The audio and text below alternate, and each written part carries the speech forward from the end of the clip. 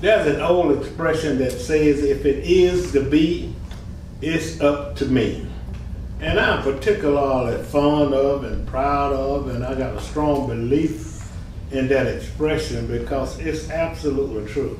Regardless of what the issue is, or the problem is, or what have you, then we all need to realize that we can make a personal difference in what goes on in our lives socially, politically, economically, academically, and all other kind of ways.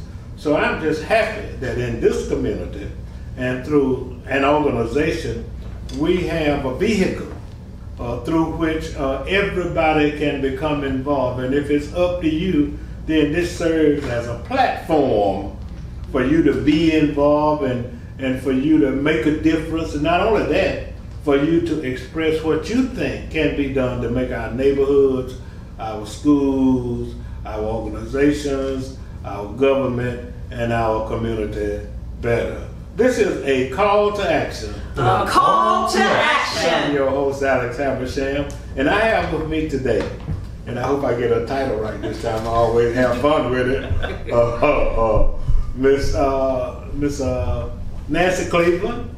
What's your title, Nancy? I'm the Communications and Development Associate. You know, the Communication and Development Associate, and Miss Katherine Dennis, who is the President of the Community Foundation. Okay, they are both with the Community Foundation. I gave uh, Nancy another organization the other time. and She said, no, no. Yeah. not Nancy, I mean uh, Okay. Katherine. Uh, she said, don't get me fired. I love my job. Oh. But on a very, very serious note, uh, this is the second comment of uh, uh, an activity in our community called On the Table. And that's what we're going to discuss today. So, first of all, uh, Katherine, would you kind of give me a historical perspective of On Absolutely. the Table?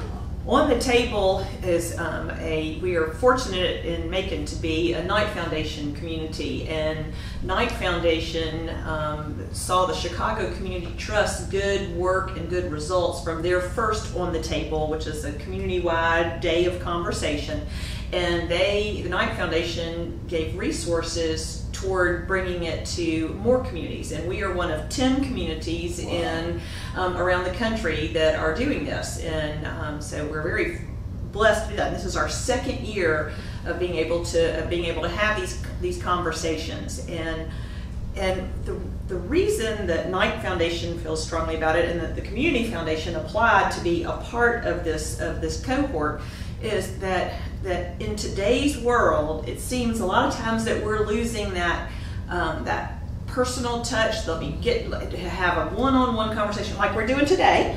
Um, that they're just that people are more willing just to pick up their phone and text or call or just it's just not so do an Instagram, but it's not the same thing as having a personal conversation and being able to develop a relationship and, and, and meaningful have a meaningful discussion. You're not going to have anything meaningful in a text or a 140 character tweet or whatever it is. I mean, so so for us to, to be able to step in and and and be able to lead it, and we lead it. It's the community foundation. I mean, it's the it's our communities um, event. On the table belongs to the community, not the community foundation, not Knight Foundation. It belongs to everyone who participates. Right.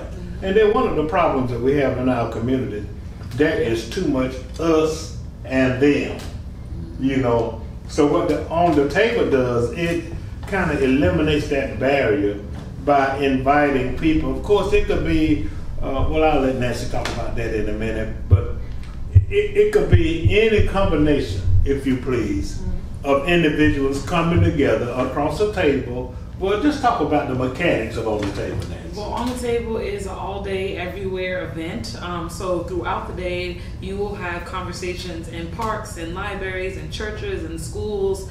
Um, in restaurants, wherever you feel comfortable, and it doesn't have to even be a three-course meal. It could be nachos and Mm. margaritas. It could be trail mix and water, whatever you feel comfortable providing. But again, it's leaving the Instagram and the Facebook comments and having a real conversation around those solutions, but also taking that conversation and turning it into action. And there's a number of ways you can do that. A lot of people convene with the people that they talk with, and they go ahead and do uh, different projects together. Some people apply for our mini grants with the Conversation to Action mini grants to give some funding to those ideas, or other people continue the conversation throughout the year to address the, the passions and interests that they have around specific issues. So there's a lot of ways to move beyond the table. Okay, now walk us through, if you would. Okay. Uh, let's say that there's somebody interested. Let's say there's an individual, a club, an organization, a church, or a nonprofit who looks at these beautiful faces that those over there That one and, and say, hmm, I want to get involved in this. Can I do big picture and then we'll go to little Yeah, picture? yeah, so go ahead. All right, so first, think about it two ways. Am I comfortable? Do I, or do I want to be comfortable or uncomfortable a little bit? And so, do you want to have, if you want to host a table, do you want to do it and just have your friends and have a private table where you just decide that you're going to have people that you know and y'all want to talk about the community? Then have a table. Let us know though, because we really want to be able to track the who's having a table, but also we want to make sure that you take a survey, which we'll talk about later. But Right, but so it's but we want to know you're a part of it because part of the power of this is saying that like last year we had five thousand people, six hundred Wow. tables. So we need to know who's talking, and um, so private. You can just if you if that's your comfort zone, more power to you. Go for that. Just what we want is for people to really take the time to talk to each other and talk about our community and um, and then how we can make a difference individually and collectively. But it's not they are going to do something. It's what are we Right. going to do. But the other side of that is we're looking for organizations and even individuals to host public tables and that's where um, so so i might say all right we had a lovely family or couple last year open their home up to people that to strangers. And, and so on our website there'll be a place where you can list your table and people can sign up to come. But churches um, all of our rec centers the commissioners the hospitals um, schools um, the library system. I mean, think about it. Organizations, universities um, are all going to participate, and most of them, some of them will have some private tables. associations. Neighborhood associations, Yeah, yes, yeah, they'll yeah. have it. So, so, and then you'll be able to. So, we need hosts to do those private tables and public tables, and then we're going to turn around and need people to go and participate. So, I'm going to let Nancy kind of talk Well, about the let me say- logistics of our website Let me point too. my Yeah. finger at the camera for just a Okay, minute. okay. Okay. You need to be involved. Yes. Too often, people sit around mm-hmm. and complain and talk about, well, that doesn't concern me, or they don't treat me right, or this not happening, or what have you. Well, this is an opportunity for you to express it, and we want everybody. I mean, that, this, you know what Uncle Sam says? Mm-hmm. I want you. Yes. So Uncle Alex is saying this means you. We want everybody involved. I'm sorry to interrupt you, No, but I good. No, I appreciate I that. don't have, yeah, and I'm, I'm so serious about It's- that. it's- Yeah. it's- And I'm so serious because I speak have the worked truth. my whole Yes, life exactly. Yes. in trying to make this community better. And then I know for a fact, you know, if you don't play, you can't win. Yes. Exactly. You Yes, know, sir. so you've got to play. Go So y'all come play. Come play. And then even going off of what Alex just said, like if there's a way, a lot of people um, mention ways that they could do things better or things that are not getting done. This is your opportunity to show me that better way, to bring that idea that other people aren't listening to, and we give you not only the platform to listen to it, but we make it very easy for you to sign up. So if you go to onthetablemacon.com, you'll see a link right at the top of the website that says uh, host a table. You'll just click there, and the form will be right there on the website. You'll fill it out, you'll indicate if it's a public or private table, and we'll receive that information on our end and follow up with you. And it's just as simple as that. Uh, getting closer to the date, more so like the beginning of October, we'll be listing those tables by location, by time, and by topic. So it'll be easy for you to click, register, and uh, reserve your seat at whatever table it interests you. Um, and that's the, that's just a simple one, two, And that's for the public tables, so there'll be registration. Yes, private tables won't be listed on the website, so you would have to receive an invitation from that host to join that But table. we'll give those hosts, the, the, the- they'll, we'll give you uh, an Eventbrite link so you can Yes. invite your guests to the, To your to table. your To your table, table. to your table. And So you can we'll just try to make it them. easy, easy for you. Exactly, and people are very familiar with Eventbrite, with Facebook, with email, and any of those three ways you can invite and track and manage your guests. So um, it's really one, two, three. It's not a complicated situation. Sometimes we think it's so easy, it makes people not really fully understand it, but you literally invite your friends to come And then and talk. we're going to have some host training too. So if you sign up to be a host, um, there are several ways that you can get more comfortable with it. First, we have well, what we call our toolkit. Get a nice little tote bag full of all kinds of stuff. You'll get a host toolkit that has some prompts And for we have some cute bags coming Yeah, yes, and um, and you'll be able to do go. So you can do it.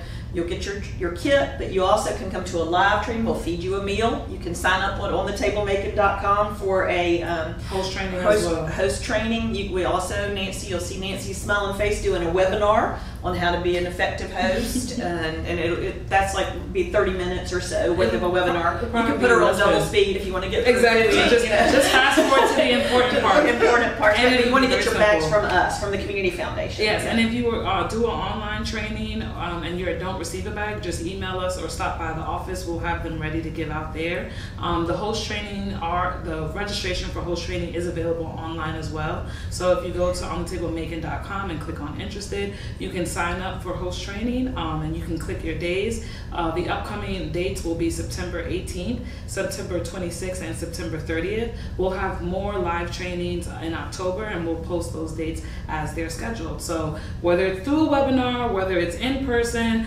you will get the training, you will get the tools, you will get the resources, and we will help you. Or if you just can wing it because you feel comfortable. I mean, you know, it's really some of us. Some of us, Alex, we can just sit down and have a Yeah, yeah. help a conversation, but we have prompts for you. And when I say prompts, we have seven questions that are just general questions, like what do you say when you brag about making?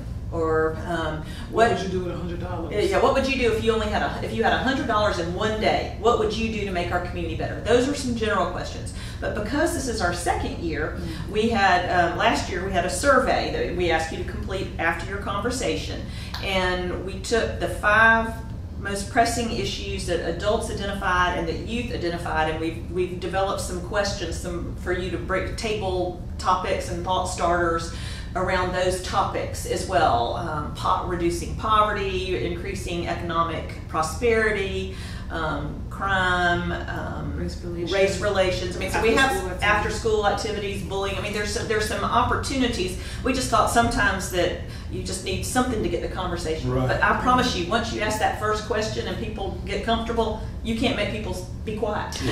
You know, there's an expression that says the proof is in the pudding. yes. You know, and then I, the, the, the activity has been historically successful. And I'm going to approach it from two angles.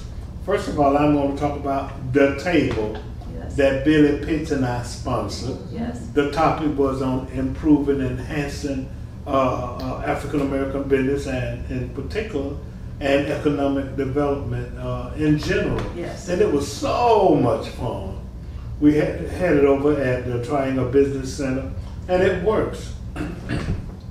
it was not a whole lot of work to get it done. We invited people. We got somebody to record it, which is important. Yes. You don't want this conversation to go to waste. Correct. So I was lucky enough to get the young lady, uh, uh, Trudy Lawrence, Yes. at SBDC to, to, to be the recorder.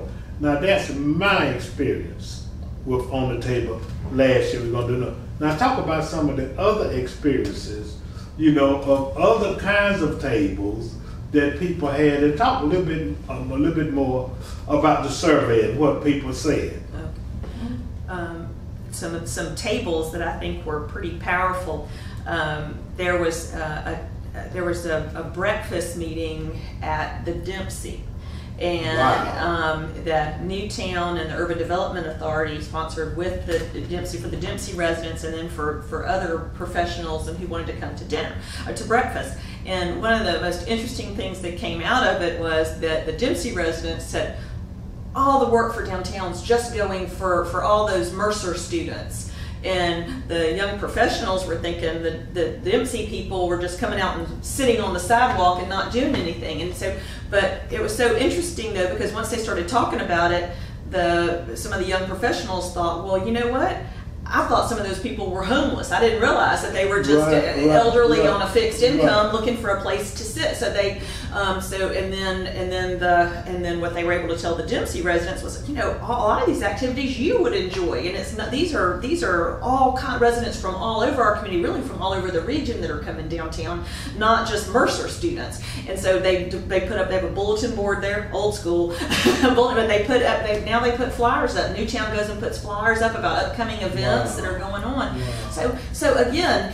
You wouldn't have had that if, if, if you hadn't had a, a, a mechanism to get those two groups of people to talk. You wouldn't have realized they would they have a different connection now because again they're friends. I mean, and I've yeah, actually yeah. seen a noticeable increase at from the, um, residents downtown at events. Yes. At the concert that I went for uh, last first Friday, there was a noticeable amount of residents there, and I think it's about getting from behind the screen and really making that personal touch, and they feel invited, they feel included. It's a similar thing that happened with Scott Mitchell's table. He had it at Doughboy's Pizza Shop, and he included the homeless from Daybreak, and it was Wow. so so interesting the feedback that he got from interacting with this population. Many of them told him this was the first time I've ever been invited to a restaurant. Usually I'm walking by or I'm being kicked out. And actually, we would love a homeless shelter and all these great ideas, but what we really need is a bathroom. We need a public bathroom. And Scott has done his due diligence to get all of that stuff presented to the commission, and we'll be presenting a public bathroom to the homeless.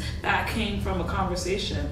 Um, there You was actually do one? yes. yeah, yeah, Oh, it's gonna be opening in a few weeks. He was Wow. a recipient of a Conversation to Action grant. Wow. But what he realized too, and I think that this is important for the people who will be applying to the grants, or for the people who have ideas that they haven't seen manifest in this city, there's a lot of red tape to getting things done. After he had that conversation, he applied for the grant. He received a thousand dollars. He thought, let me go get a bathroom and put it somewhere. But who's gonna maintain it? Who's gonna clean it? Who's gonna lock it? What land are you gonna put it on? Is it gonna be private or public? And he realized all the things that you have to go through to get a good idea done. So, I I mean, it took time, but he got it done. He saw it through. But there, but, but those are, I think, very powerful ones. Mine is a simple one where we had one in the um, the community foundation hosted one at the um, South Macon Recreation Center, Bibb County Recreation Center. We didn't have very many tables. Like, Y'all, South Macon, we need more tables down there. we didn't have very many, and we and we want to have lots of tables in every zip code. And so we went down there, but I, I, I made a friend down there. I would never have met her. She works with Walgreens. She has uh, she has uh, four children, um, and I just I, but our paths would never have crossed. And she's become more involved. She's come to, to activities. I see her out now, but she didn't know all this was going on. And I'll say that a lot of tables, people would say one of the com- the conversations would drift to, well, people don't know all the resources that are in our community, Absolutely. and we need we need to connect those homeless people with resources, or the or the person that needs housing. And but what they didn't realize was that that there really are a lot of resources out there, and they didn't know who to to tell them. And then sometimes do we know do all the people that need those services really know about the resources? And so one of the things you'll see in our host toolkit this year are three pages worth of of resources that uh, people can go to that just that and Jill Vanderhoek with community partnership was very helpful in, in consolid in consolidating all that information because there are a lot of organizations doing great work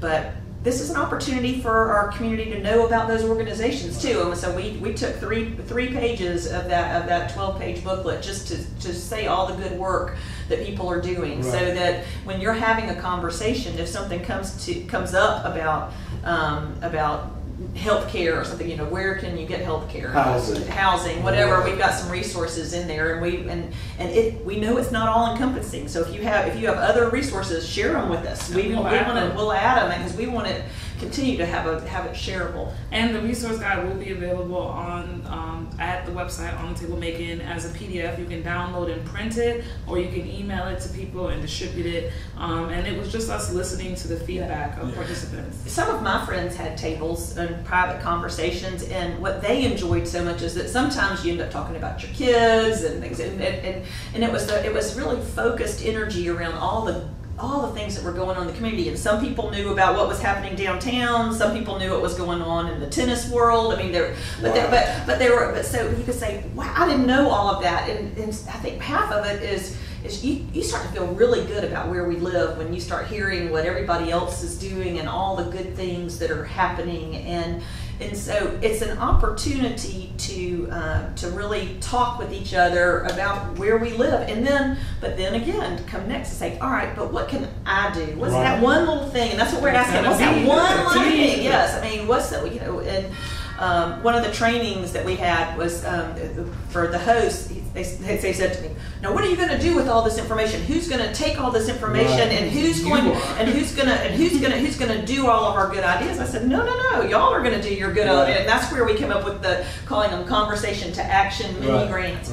But the, also, but I will say, the survey is really important. And I know people hate to take a survey. It takes 10 minutes, 8 to 10 minutes. It does. But it is so worth it. First of all, we're going to start to build longitudinal data about our community. But second of all, it's, it, it really gives information to our government, to our um, to foundations, to funders, to any organization. So you're interested. You're in a group of moms. You know what? You know what? What? What do you? It gives you a chance to say, well, I need more park space, or I need a better playground. So I mean, they're just it, so that data is very important. And, and it, it, I was so thrilled when the mayor opened his um, State of the Community address and Right. interspersed all was through it from on the table with on the table survey data.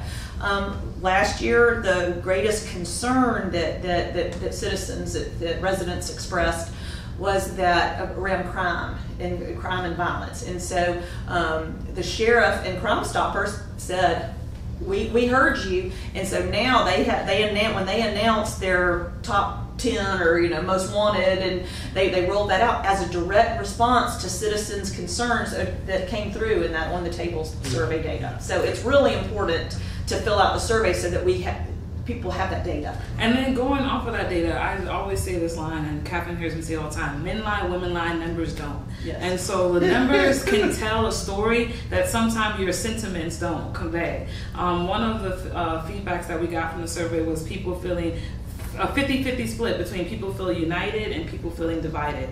And it wasn't something that was gonna that um, led us to bashing the city that we're from. It actually led people to answer to ask the question how can we make people feel more united? And now you have all these different events and all these different volunteer activities that come from that. Um, in addition to the crime stoppers it's not just a good idea. It provides real change. Yes. i was at a council of the clergy meeting and sheriff davis stood up and said that around this time last year we had about 30 still murders this time um, th- around this time this year it's only been 16 Right. so that's almost a 50% drop off Right. from people Right. getting involved. Uh, Commissioner Virgil Watkins, who applied for a Conversation to Action grant, he had a table that was right on the steps of City Hall. He told me that the, um, on the table was instrumental in passing the Marijuana Reform uh, Act that reduced the, the sentencing to a fine, and that was because it was easier to convene people after he had already had a conversation with them.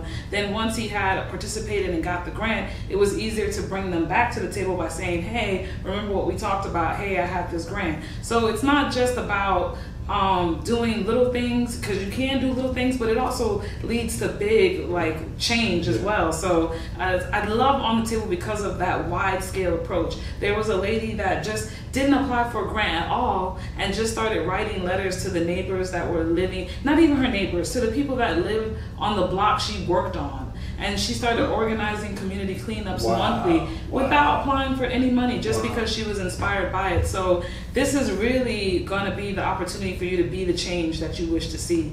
And like you said in the beginning, if it's going to be, it's up to me Yeah. or you. I Yeah. would say. and, and, and the good part about it is that I, I'm sure, and I didn't know it was that many until I noticed the website, but a lot of people came up with some ideas Yes. that were good enough to get some funding. You know, Yes. some people got five hundred dollars, some got a 1000 and and with or without the money, it just shows that when the entire community gets involved, a difference can be made. We have a phenomenal city. Make no mistake about it. A lot of people don't live here and move somewhere else, but Macon got it going on. Yes, and then we can be a part of making it even better and by by being involved. So I'm begging you, and I don't beg much. I mean, if I thought I could get up, I get on my knees. but I'm we begging. might get down, we won't get up. Yeah. I'm begging you. I'm begging everybody, you know, to get involved in this process and make your voice heard And then it's easy. Oh, I tell you something else quickly. If in fact you hear this conversation and you are part of an organization, then ask your minister or ask your neighborhood uh, watch leader or ask your social and savings club, ask your fraternity, your sorority, ask your the guys you go to happy hour with, and everybody. Happy hour is a great place to have a conversation. yeah, yeah, It, yeah. it flows, it flows Yeah. easily. So, so talk a little bit, one of you, about the grants and how some people receive some funding. Okay, well, um, after on the table, um, we will open up the application to apply for Conversation to Action mini grants. It'll be available on the cfcga.org website. We'll have plenty more details um, when that time comes. Last year, we used $15,000 to fund 17 projects. This year, we'll be giving away $40,000. Wow. So I believe that'll mean double the projects and Half from the Community Foundation and half from Knight Foundation. Right. So that's Exactly. really, that's great. So it's a great opportunity for you to apply for a grant or again use the opportunity to convene your friends to get your actions done. Yeah, I want to do two things right quick. Mm-hmm. Katherine, go ahead and, and give uh, respect to the Knight Foundation once more. Yeah. And then I want Nancy, when you finish, Okay. to go ahead and tell people how to contact you. Okay. Because everybody is not technologically, I will give them a phone number. Yes, Yes. yeah, but talk a little bit about uh, Knight. I am so thankful for um, that, that, that Macon Bibb County is a um, Knight Foundation city because the Knight brothers owned a newspaper here. And even more thankful that Lynn Murphy is the program director and she has such a passion for our community and is a very strong advocate for us in Miami where the, the mothership is, the home office. And, um, and so Lynn heard about On the Table and, and, and, and I'd heard about it. So we, we got together and she said, we've got to bring that to Macon. Wow. And so um, we wouldn't be sitting here if it weren't for, for the generosity of Knight Foundation. That's There's so many things. Uh, That's off the Knight Foundation. How And if you guys have any further questions, again, you can go to the website on thetablemacon.com or you can contact the Community Foundation directly by calling 478-750-9338 or you can email at onthetable at cfcga.org. Again, that's on the table at cfcga.org. So any of those ways, please get in touch with me, Katherine, any of the staff will be willing to help you. This is a call to action. A call to action. I'm your host, Alex Habersham, having interviewed both of these young ladies from the Community Foundation, uh, the president and the community outreach coordinator in the person of Miss Nancy Cleveland and in the person of Miss Katherine Dennis. This is a call to action. A call to action. I'm your host, Alex Habersham. Have a great day. I like that. Thank you. Thank you.